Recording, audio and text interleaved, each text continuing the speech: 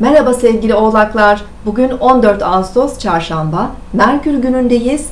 Bugün kalabalık sosyal ortamlarda e, insanlarla uyumlu olacağınız bir gün geçirebilirsiniz.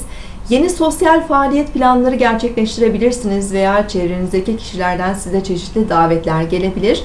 Ancak tahminin, tahmin ettiğinizden daha fazla masraf yapabileceğinizi de unutmayın.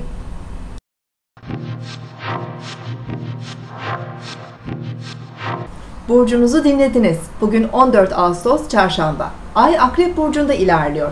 Sabah saatlerinde Ay-Mars arasında oluşacak üçgen açı güne oldukça hırslı ve enerjik başlamamıza sebep olabilir. Günlük işlerimiz ve projelerimize bugün daha bir tutkulu şekilde yaklaşabiliriz. Ancak e, öğle saatlerinde Güneş ve Ay arasında oluşacak kare açı özellikle e, karşı cinsle ve otorite kavramlarıyla olan ilişkilerimize biraz dikkat etmemizi gerektiriyor. E, bazı e, çatışmalar, fikir ayrılıkları oluşabilir. Çok kararlı ve azimli olacağımız için e, bugün amaçlarımız için e, kararlılıkla mücadele edebiliriz.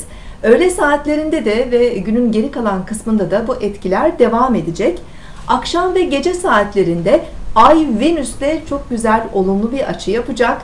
E, bu da e, yoğun ve e, mücadeleli geçen bir günün ardından dinlenmemiz, keyifli ve hoş zaman geçirmemiz için bize çeşitli fırsatlar yaratabilir. Sevdiklerimizle birlikte olabilir. E, güzel organizasyonlara katılabiliriz.